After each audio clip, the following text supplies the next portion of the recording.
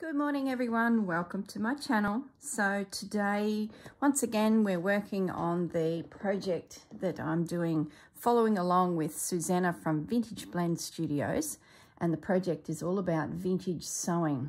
So all sorts of things we've been exploring since the beginning of the year.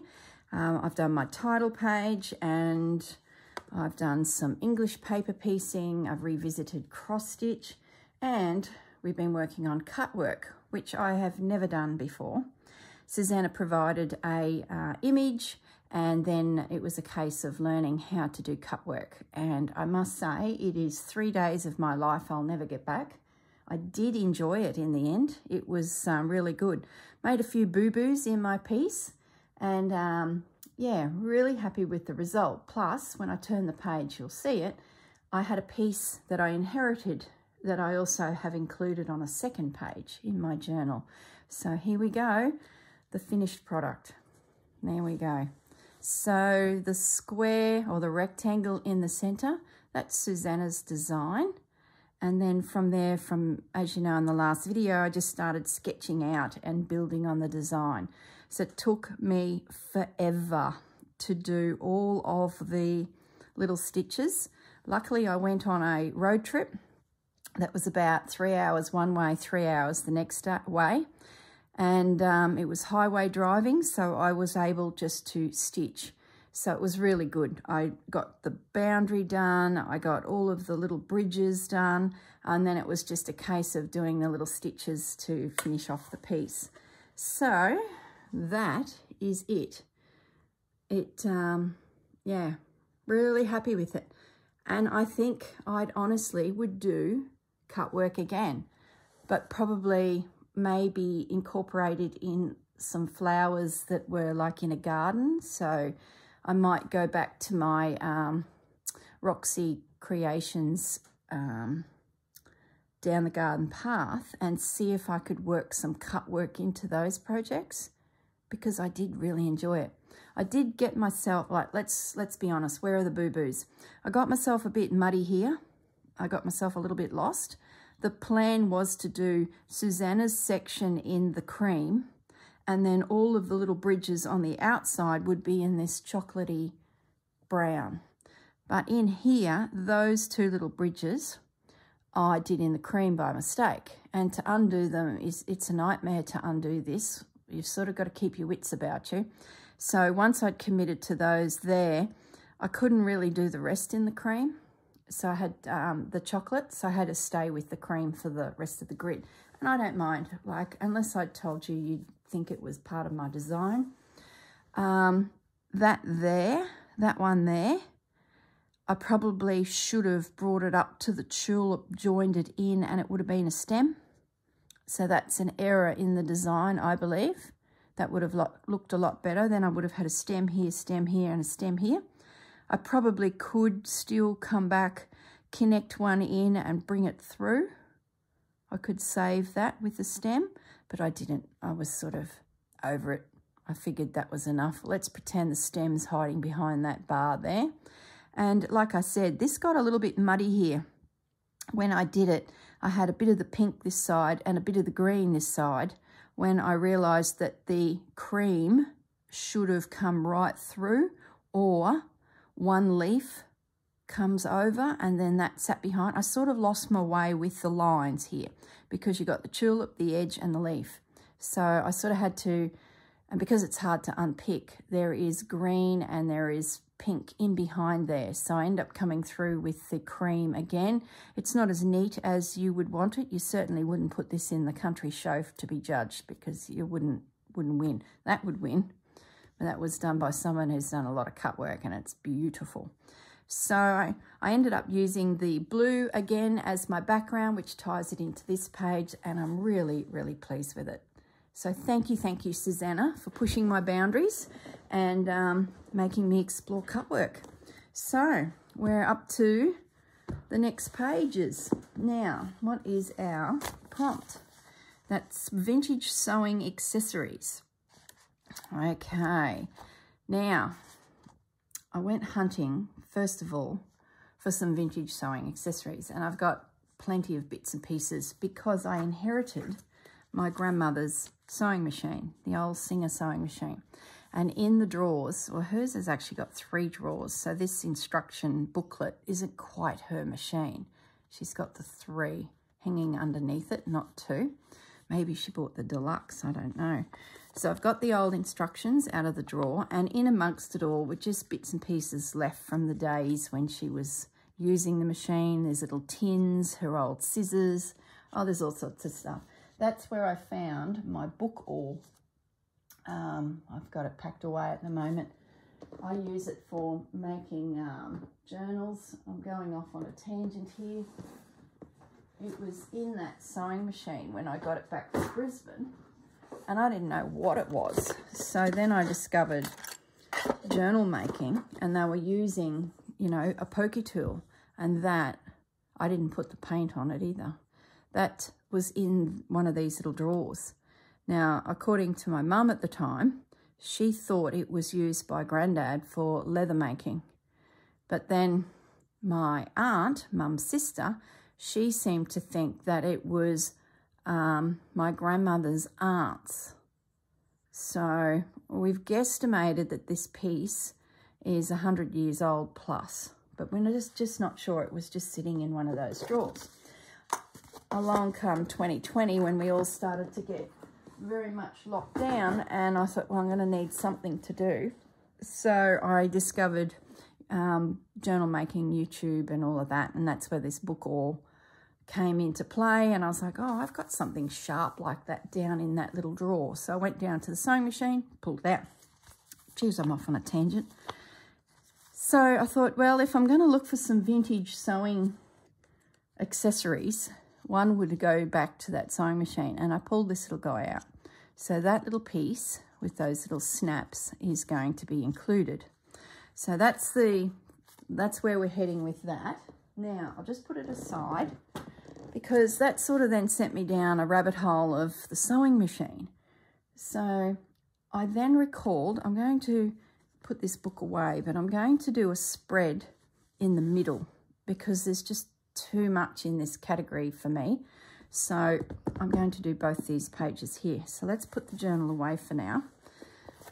And I will show you a quilt that I purchased in 2020, a block of the month.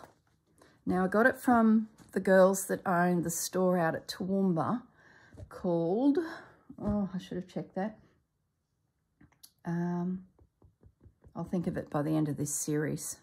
Oh gosh, I've ordered so many things from them over the last few years. But anyway, this so this block of the month is technically not available anymore because it was actually released back in 2020. All right, so that's the little packages and everything in it was supplied. So it was a case of make them up and it becomes quilt. Now I really don't need a quilt. So I, in the process of finding Rachel and the journal making, I started exploring um, slow stitch back in 2020. So I realized that these days for me, I did back in the 90s. And as much as it caught my eye, it was a lovely project and it had everything in it. And for lockdown times, this was perfect. I didn't have to go too far because you got everything and they sent you one a month. I started working on it. Now, I only completed two blocks because I turned them into slow stitch things because I'd had such a collection of doilies and you know what my world's like. So I used the basic um, block and then I embellished on top of it. Let me just come up a little bit because I'm so off the track here, but you'll see where I'm heading with it. so this was the first one and I added fabric and I embroidered the flowers, which is just exactly what we're all doing now. But this was when I first started back in 2020. So it's taking a simple block of the month that caught my eye. So all the background was thought out and I just had to complete the background and then embellish. And this one's been cut to size, ready for the next block to make a quilt in the process of doing it, I'm thinking this is really not a smart idea because then you've got a quilt with all this stuff hanging off of it. which is hard to launder. And yeah, I was thinking, oh boy, so maybe I just frame it. What do I do now with the rest of the kits? So the whole project sort of got packed away. I did do a second one, and that's probably about when my thought process was like, how am I ever going to launder this with all of these bits on it? So here comes the sewing machine, and you know where I'm heading now. The, the whole concept of adding on to the quilt and I embroidered all of the fabrics on it. Like every, my rule is every panel got embroidered in some way, whether there was a flower on the design that I spotted and reworked it. But yeah, and they took, took ages and ages and ages. Like I embroidered that leaf and then I've added this doily. In the process, this doily would go down over the next block that would sit, you know, below. So that's the project. It then got packed up, put into its container, and I haven't pulled it out since. So what I'm going to do, and since doing this quilt, I've discovered the fact, thanks to Rachel, that we can make journals with these types of projects inside in a smaller scale. So the plan now is these two pieces I will um, frame and put them on my wall because they very much suit my sewing room. I love everything vintage and I love everything sewing. So they are going to be framed and I did a, uh, a shadow box. When my grandmother passed, there was so many little bits and pieces that came from her sewing room. I got a shadow box from Ikea. So it's a shadow box is where you get a frame and it's deep. So you can stand things in there. You can have quite chunky things like bottles of buttons and things like that and some photos and all sorts of things. I did a, like in memory of her, this shadow box and that's already framed. So I'm thinking now, as this all happened in the last 10 minutes, I'm thinking I will frame these, put it with the shadow box on my wall in my craft room. So now I don't feel so bad that I've half, well, I'm not even halfway through this quilt. I am nowhere near halfway. So that's the plan for all of that. In amongst here are some fantastic designs that I do want to do. And I've got the fabric.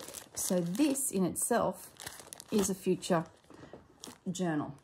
So that's the plan, a future journal and I'm just putting it back in my box where it all came from. The other thing in amongst there are some images to do with the garden, which I'm going to bring into my um, uh, Down the Garden Path project. But I won't show you those today. That's another video, another day. Otherwise, we will never get started. Now, the one that I just showed you completed was this sewing machine kit. So, being that we have a topic of vintage sewing accessories. I thought I would revisit these designs because I just love them. Love, love, love them. And to have them in the journal to do with this particular sewing project would be fantastic. That leftover um, packets with all the fabric in them, that's another journal another day. And it goes into fashion, it goes into perfumes, gardens, things like that.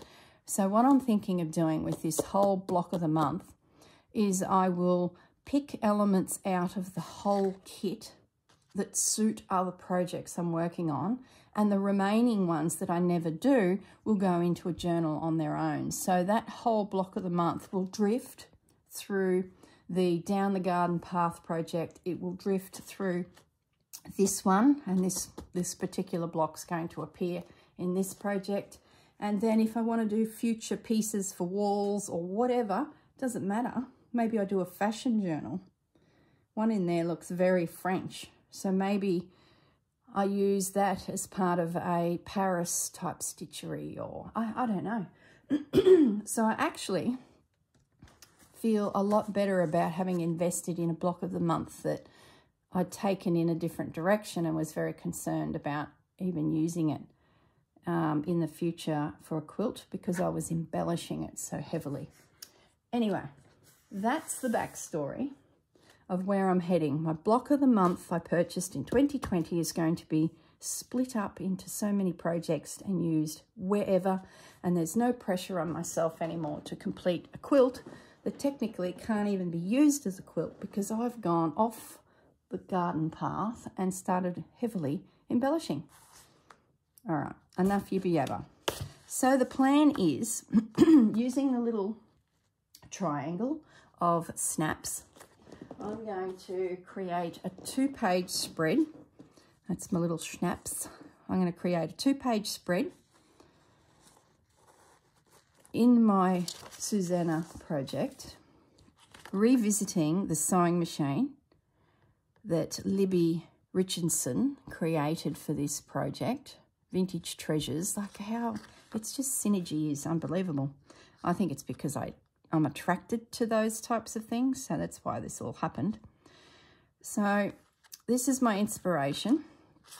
I've gone in and opened up the little kit that came with it. That's all of the elements. So, and I have now taken a photocopy of the patterns. So that can go away now because I have a photocopy of the pieces that I want to reproduce. So I'm definitely going to do the sewing machine, most likely do something with the, the reels of cotton. And I love this little piece. So that's the plan. Two page spread. Now, background.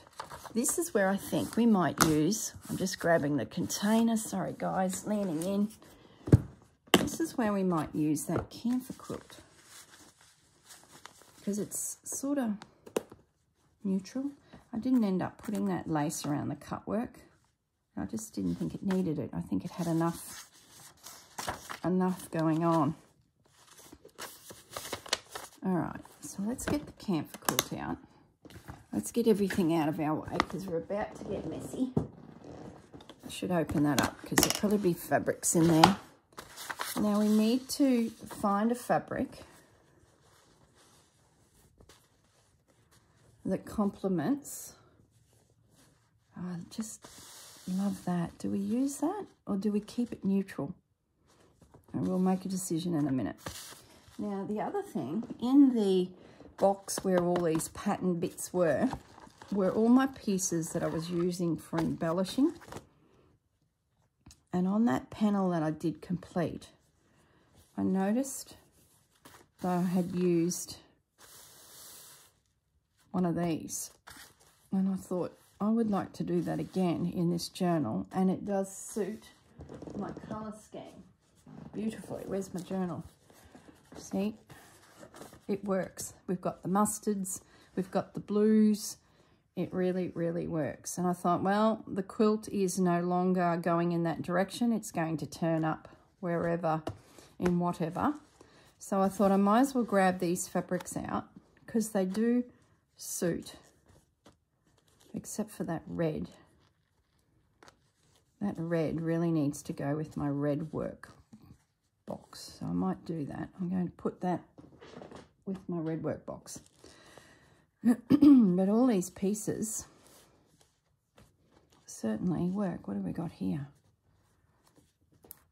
A heart. Why have I got a heart?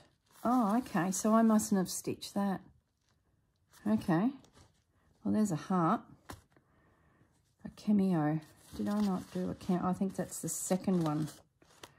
We don't need a cameo. A little bit of fabric from Rachel. Oh, hello. Buttons and threads. So that's... Oh, I remember now. Because this is a block a month, this element was actually going to be attached where the next block joined in. Let me grab this. Yeah, see it down here? So there would be another block coming through here and this little piece, this buttons and threads, this design, was would sit over the two joining. So it was a case of it came in the pack, you traced it all out, but you didn't need it until you needed it. Well, that's a bonus. We're definitely going to include that then. And the heart is here. We didn't use that, probably because I had so much um, bits joining it that the heart, yeah, that's what it would have been Corrine went off on her tangent and down in that corner, I bet she put something that the heart was no longer needed. Let me have a little look. I bet you that's what she did. See, when I know I'm semi in trouble, I talk in the third person. Where is it? Oh, I did put the heart on, but I didn't write the word love. I used little hexagons instead and English paper pieced them together. So the word love would have appeared there. And I mustn't have liked the mustard fabric that they gave me. Where is it now? I mustn't have liked that mustard. So I did my own heart. That's what happened there. Well, we might use that heart because that works with my piece. Okay. That explains that mystery. How many of you have these unfinished blocks of the month in the cupboard? Get them out. Let's bring them into the slow stitch world. Let's turn them into journals because how many quilts do we actually need? Yes, I know you're all sitting there going, yep. Okay, so we can get rid of that. We've got our patterns. That's already taken care of. I've got a heart here happening. Well, let's trace that while we're speaking. Those fabrics will all work. They're scraps, so I don't have to go too far. And those scraps then can join this journal because they will work. Let's grab a pen. I can't even see. I can't even see underneath. That sort of looks like a fabric I would have owned, not one that was in the pack. Oh well, can't see underneath, so we need to create some form of scrolly something because that scrolly something appears on the sewing machine. so let's try and do something a bit tricky here and then I'll just stitch it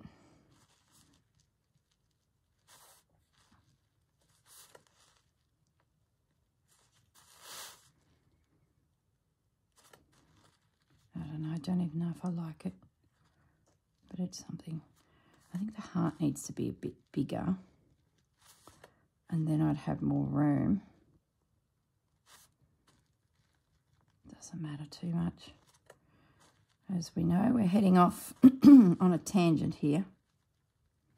So I think this video will be about just getting all of our little elements together to build the story based around Susanna's prompt, which is vintage sewing accessories. So there's a few things we could probably, I should probably have a curl coming here to join it.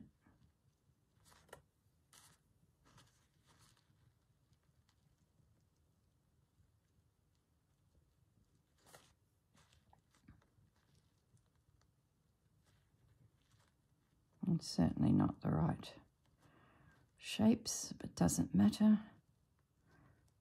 Gives us a fancy little heart. Do we want the word love in there? Do we want the word vintage? Do we want the word sewing? Do we want the word accessories? I'm thinking the word vintage actually. So let's let's revisit the word vintage and do something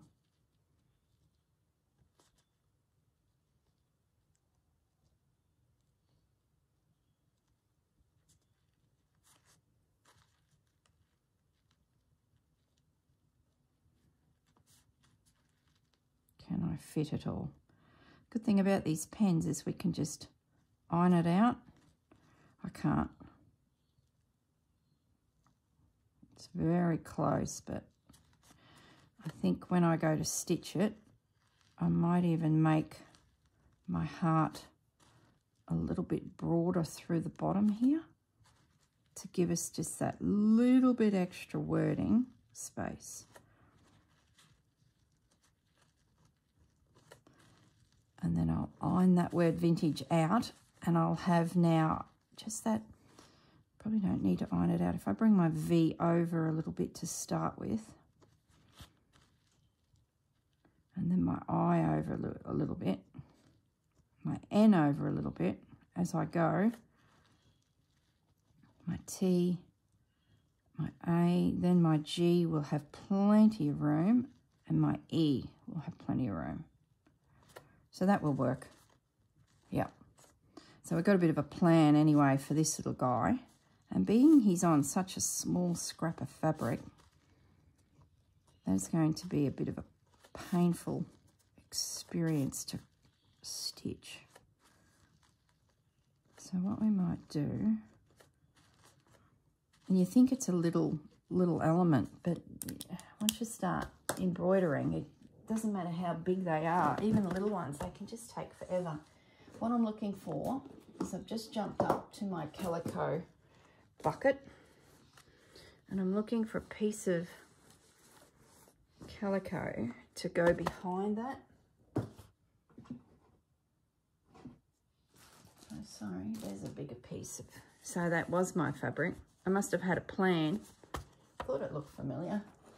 I had a plan for it, but it didn't, didn't quite happen. And for the life of me, I cannot see. Wait, there it is. I knew I had a piece.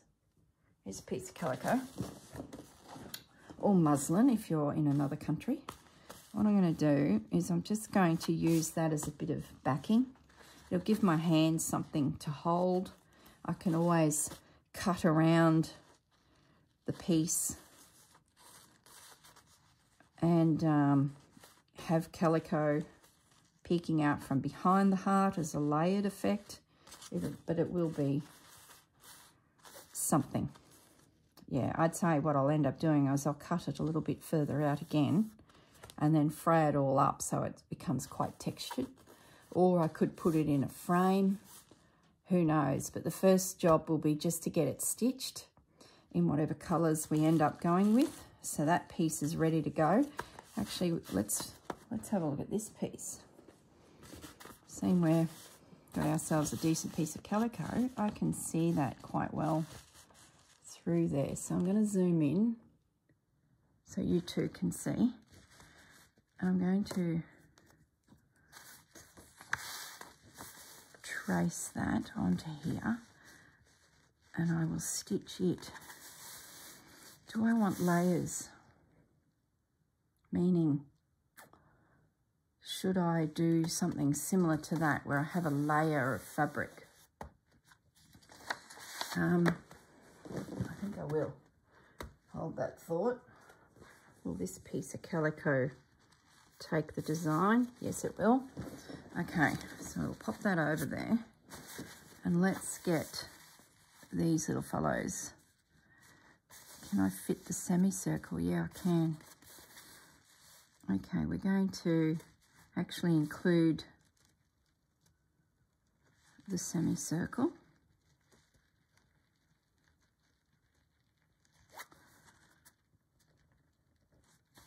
might sketch both semicircles and then I can use the outer one to give me a piece of maybe blue fabric or something that will pop. So what I'm thinking is I will stitch the buttons or the, the cotton and the scissors. I will then cut it out on the outer ring. I will lay my piece down on, say, a contrasting fabric like a blue, cut it out. So now I have a blue ring sitting underneath it. Then I trim back again around this edge. So the blue is exposed. So then I have the calico with the embroidery, the blue fabric, and then it's ready to apply to the masterpiece. that is our slow stitch. So this one's going to be all about getting lots of little elements made and then piecing it together in the final piece. This is going to be fun. I don't quite see the intricacy of this design, so I'm going to have to keep having a little peek to make sure I follow my stitch line. There's something tricky happening in there, which I can barely see. But we can maybe simplify that a bit, like that. And then there's the scissors coming out there. Okay, so we got a little scroll here. There's a, this little scroll appears through the project or the quilt all the time. So we've got the word cotton written here, C-O-T-T-O-N.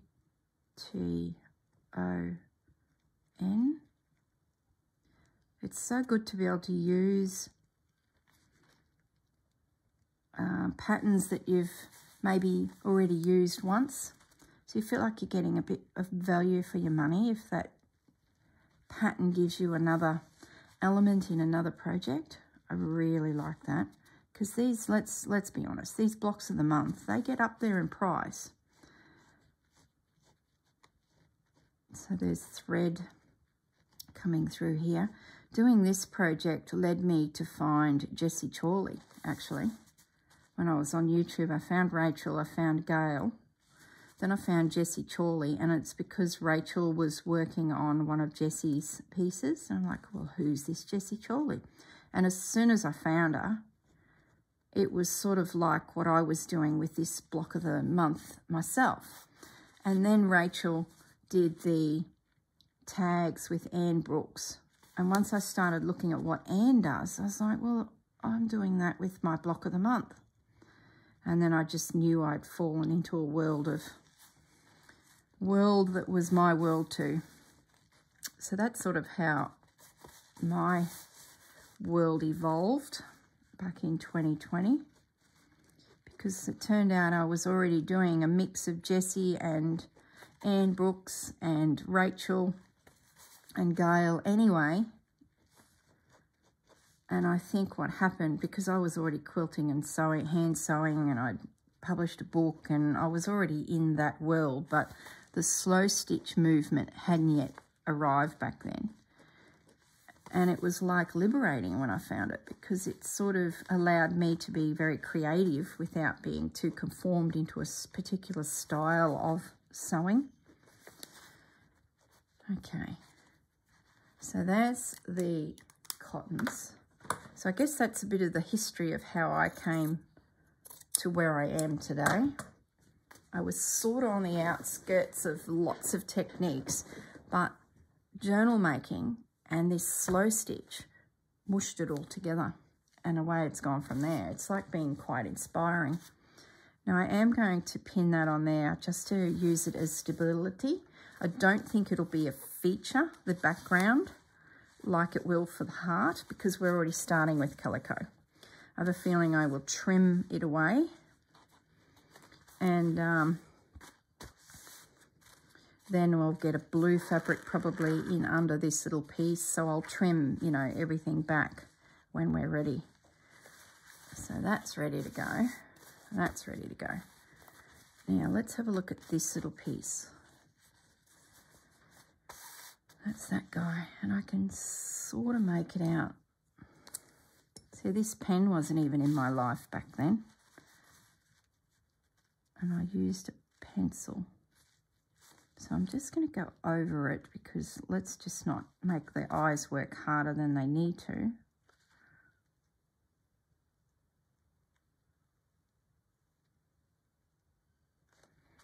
Just revisit the wording. What's that E doing? It's just being a little tricky.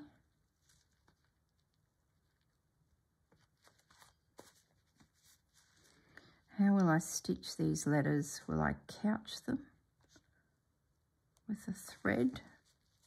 Will I satin stitch? I don't know. We'll see what takes my fancy when it comes time to take my fancy.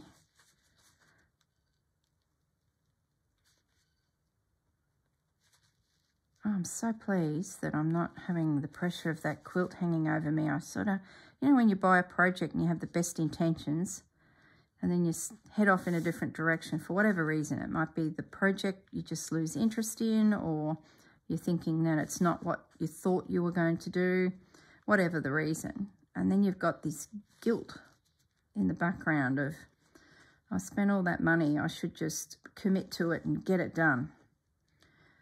Well, that's sort of how I felt with this a little bit because I started embellishing everything.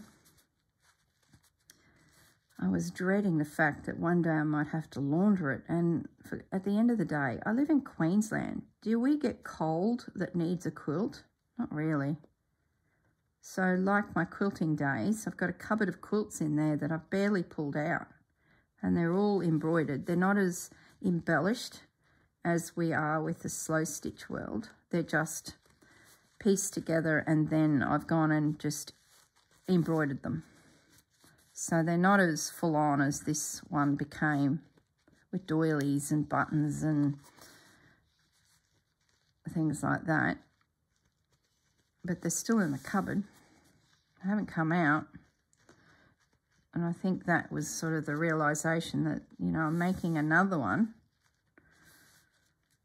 But if I can put it into a journal, a version of it, it obviously caught my eye. I obviously love the colours, the concept, the theme. So that there is buttons technically. So I can get some buttons from somewhere and we'll do something there. And then there's a needle.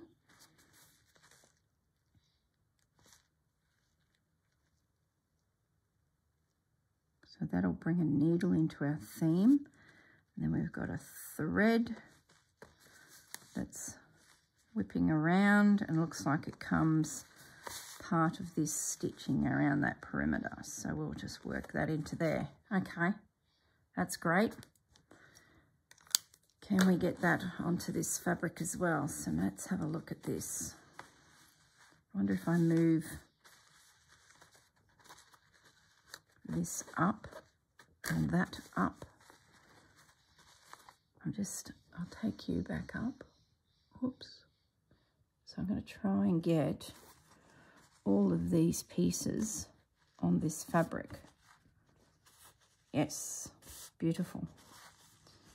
So I will invisible stitch these all together. So for those new to my channel and you're thinking, what is she talking about? That's just tacking. It's just tiny little stitches to hold all of these bits and pieces together so that I can get rid of pins. We've all decided we don't like pins jabbing us. So invisible stitch has turned into a practice we do in the slow stitch world because there's usually so many elements that go to these pieces. There's bits of this and bits of that. So we pin it all and then we're happy with our composition. So then we're like, well, how do I handle this without drawing blood? So that's where this invisible, I might even turn that that way. That's where this invisible stitch came along because it allows us to do a tiny little stitch up here, but on the back you can jump ahead to where, say, that pin is going back in. That's a good, you know, fingernail length. Then come back up to a tiny little stitch so it's invisible this side. And um, holds everything down on something like that. And then I can take all the pins out. Okay, so that's that sorted. I've recycled that's great. So that little, I better hang on to it because I might need to refer to a design element if I get a bit muddled somewhere and I'm like, I can't read it properly. I go back to that. The sewing machine.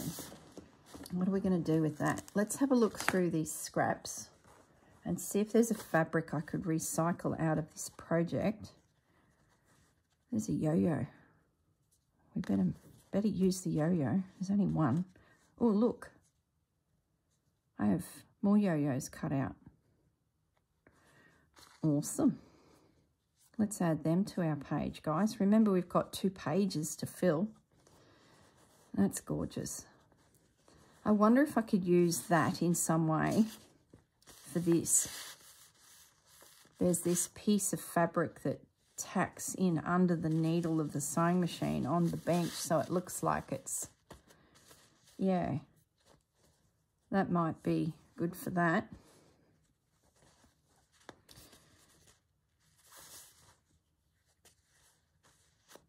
These are so good colours for this. Oh, I wonder about that.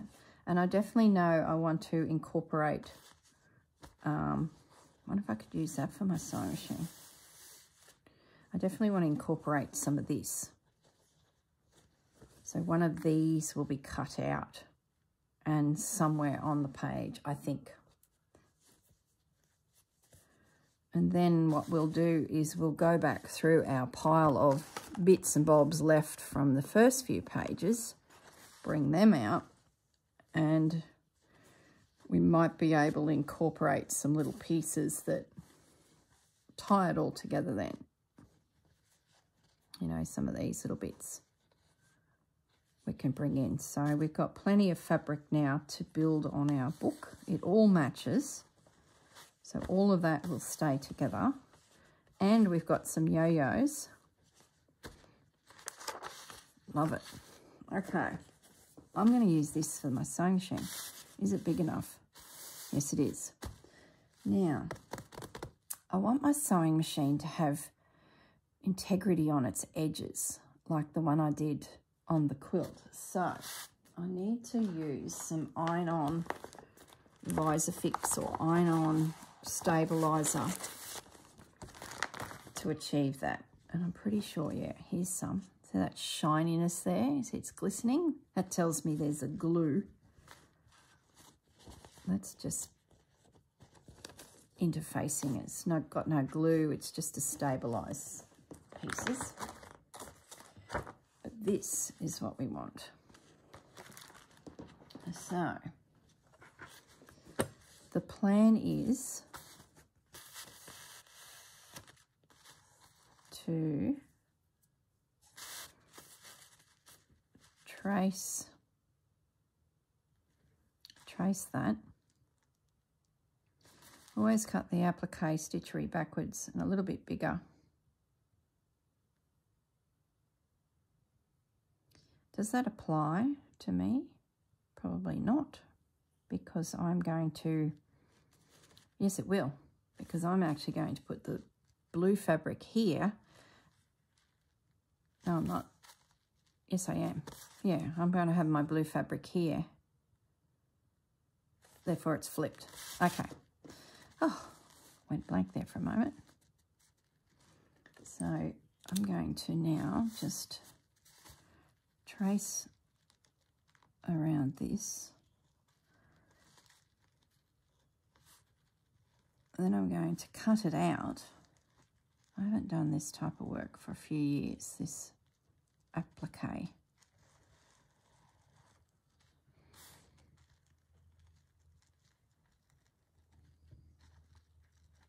Then I'm going to iron this so that my sewing machine attaches to the blue fabric.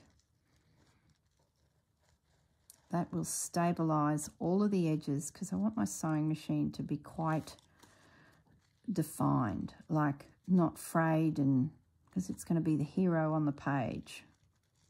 It's part of your vintage accessories you would need to do all these projects is you would need a sewing machine. Back in the day, would have been a sewing machine like my grandmother's. So there's my little sewing machine. So let's take that out.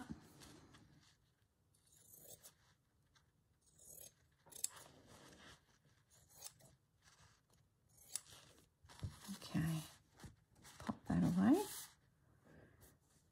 This iron-on product you can get at all good quilt stores or sewing shops or Spotlight. It's everywhere. It's a very old piece, so I hope the glue works. So now the plan is to iron that onto there. All right. And then I've cut it out and when I flip it over, I'll have myself a sewing machine. So I'm just going to stop the video for a moment. I'll go and do that. What have we got? 15 minutes left then. Then we'll come back and have a look at our background, make a decision and see, you know, sort of where we head from there. All right, guys, I will see you in a moment. Hi, guys, I'm back. you won't believe what happened. And I bet you guys were all watching it going, she's going to realise in about 10 seconds what she has done wrong there. I sketched the sewing machine out with the heat pen, right? So I whizzed around a few seconds ago, went to the iron, ironed the fabric, popped my machine on, and as soon as I touched it, I'm like, I wonder if that glue still works. Lifted it up and my sewing machine had disappeared. Good one. So I quickly pulled it apart. It hadn't adhered at that stage. It has now. I quickly pulled it apart and um, had to retrace my sewing machine with pencil because the heat friction pen disappeared. So I bet there was someone out there, if not all of you, going, Corrine, when you go to iron that together, you are going to lose your sketch. It goes to show how long it's been since I've done this style of, um, you know, applique where you bond onto the back of it a piece of this to sort of stabilize all your edges. Now, technically, I didn't need to do this. I could have just cut it out and stitched it down because that's slow stitch. Frayed edges, I do this all the time. But I just want the sewing machine to be sharp on my page. I want it to, I want to pay it the respect that it needs by having the defined shape that is this beautiful sewing machine. So I'm thinking I will use this heat and bond. It will stop it from fraying. And it's reinforced. Now there is other products out there where um, you get a second lot of glue and you can then glue it down to your piece. But I'm not too worried about that because I know my stitching, my overcast stitch or blanket stitch, whatever I choose to use, will hold it down. But if you were doing something where you wanted it all to be layers of these elements, let's say you were doing, I know, a bird, and the bird's feathers were full of different types of um, fabrics to create layers, well then you use a product that would have the second layer of glue, which is usually hidden by paper, and you would then peel the paper off and then heat again up the iron and glue with the iron down all of the little elements to create your feathers on your bird. But I don't need that in this scenario. So I'm just using an interfacing that has glue on one side. It at least will stabilize my edges and uh, allow me then to just stitch it straight on without having the need for it to be glued into position. I could have used just some art glitter glue, and I've done that before, where I just drizzle a little bit around my fabric so that those frayed edges don't happen. But at least this will be very defined. So there's my sewing machine. Actually, I might hang on to those little bits because maybe we'll need a pop of blue when we start piecing it all together. So we've got a sewing machine and we've got all of these little elements. Now, we'll keep that handy in case I want to refer, well, I need to work out how I'm going to do all this, but not today. We've just got our little piece ready. So let's have a look at our background and we need to decide what are we going to use?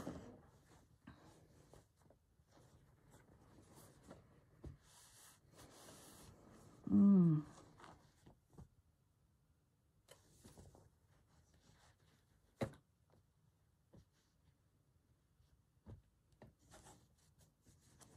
I sort of feel like it's this one. And I think it's because I feel like I'm looking at wallpaper in my grandmother's sewing room. I'm not. She didn't have wallpaper in her sewing room, but I sort of feel like this soft element of floral in behind is like the wallpaper in grandma's sewing room, for example, vintage. This feels very country. So I don't think it's going to be the stripes.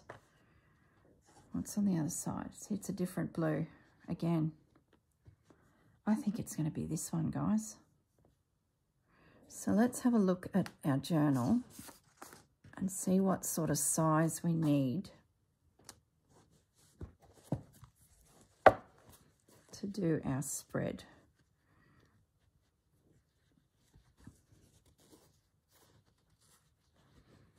And I guess the question is, do we cut it in the middle or do we stitch it through?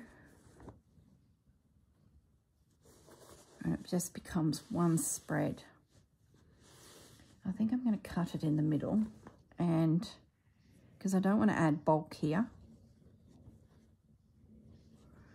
And I really need to use one of these as a template and I've run out of fabric for future pieces. So what I'm going to do is before I cut into that beautiful piece of kantha quilt, I'm going to get my calico and we're going to prep some more pieces for my book. and then I can use that as my template so that I cut exactly what I need out of the out of the kantha quilt without wasting. So that's the size there that I've used.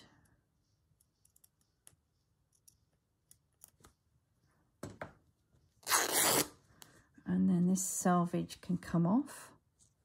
Yes. So that salvage can go.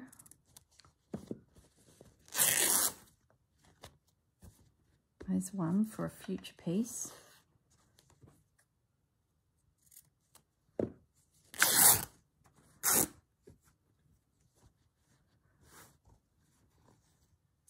So we're a few more pages for coming prompts from Susanna and in the process creating a template I can use so that I get the right amount of kantha quilt out without wasting a morsel of it. Such a warped piece of calico. There's a slight bend in it.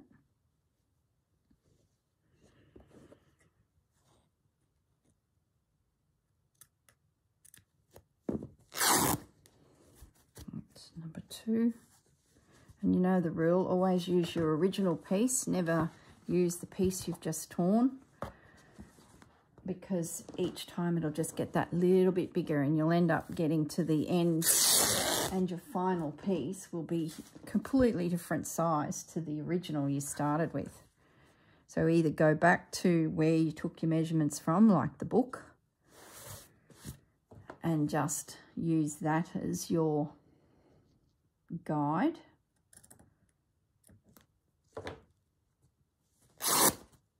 That's a bit of a, a hot tip there.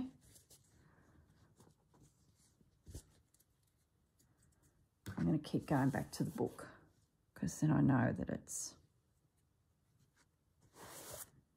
spot on.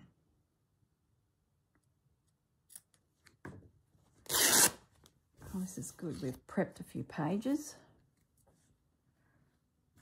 we've worked out what pieces are going to go into the project. So some key pieces, so to speak. We won't work on composition yet. We'll, we'll do that in the next video once I've had time to stitch them all. It'll give me some homework for a few, few weeks, well, a week. So we've got one, two, three, and four ready to go. So let's put the spare three for a moment in that back pocket. So that's where I'm keeping all of the bases. And then this little piece of seam binding's getting mushed around as I drag this book around. So I'm just tucking that in there as well so it's nice and safe. So let's go to the center of that signature where this spread's going to be. Well, I presume we're going to do two. I'd say we'll need to. And that's the big piece. And of course it's bigger than my signature because I made the the base of the signature a little bit smaller, but I've got the whole of that as my size, which is perfect. And then if I want bits hanging out, I can. I know that I just cannot go any bigger than this. It's so wonky. Let's just get a bit of a warmth and a width. That's better.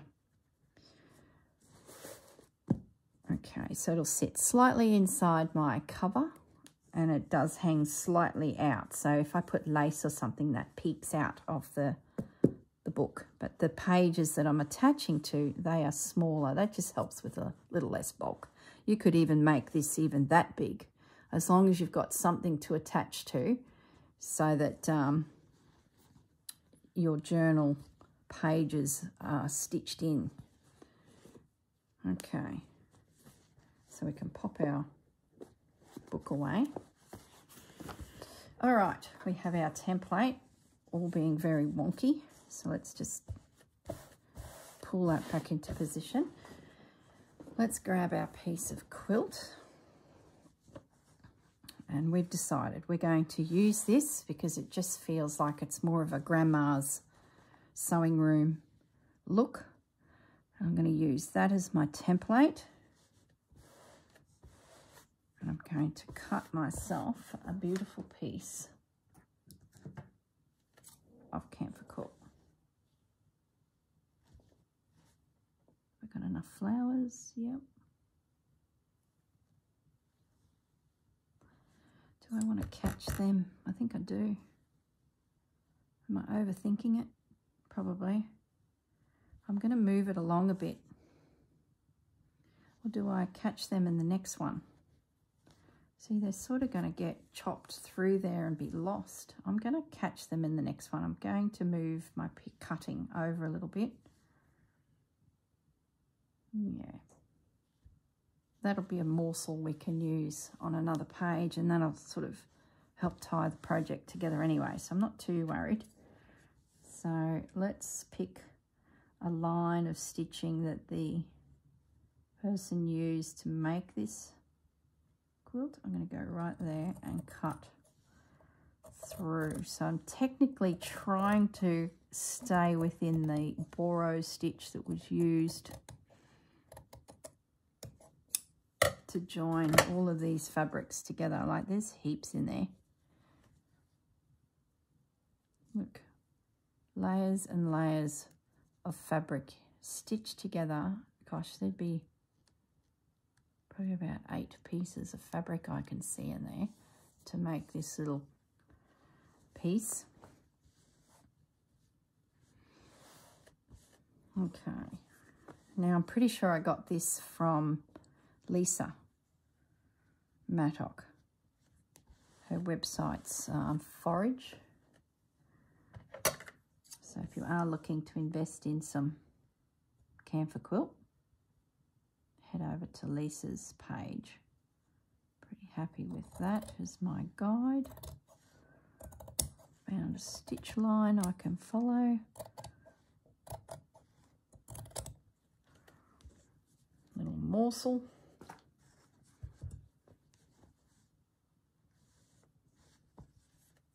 and another little morsel. Lovely. Now, being that this fabric is quite sturdy, this quilt, I'm not going to need this. That is purely just to give me my sizing.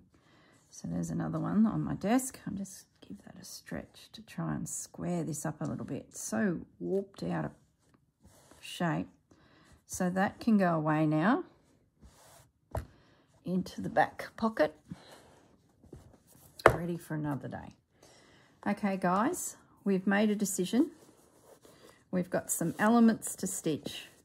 We're having a sewing machine. We've prepped some future pages for the next projects. And we have a beautiful piece of kantha quilt to work on. Now I'm not going to cut my second one yet until we get to the next stage where I have completed all my homework and I've stitched, I've embroidered all these and they're ready to go. At least now I know the project colours. I can keep those little bits in here. I know the project colours. So that'll make it easy when I start selecting my cottons. I can have a think about these coppers. I can have a think about that plummy purple there. And um, sort of help tie it all together. So maybe my sewing machine goes down the bottom here so that I've got room for something else. Okay. Once I sort of get a feel for all the space and elements, I'll be able to work out a composition and it'll be the second page. So we'll get to that. In the meantime, I've got plenty to do and I will see you all in the next video as we um, start building the layout. Okay, everyone, have a great week and I will see you all next time. Bye for now.